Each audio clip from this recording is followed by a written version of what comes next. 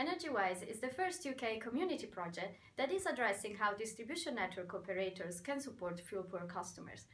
We've engaged with over 500 social tenants in one of the most deprived areas in London, and by installing smart meters and delivering energy efficiency devices and ultimately testing demand-side response with this community, this pioneering project is informing the industry on best ways to meet the needs of those that are most vulnerable.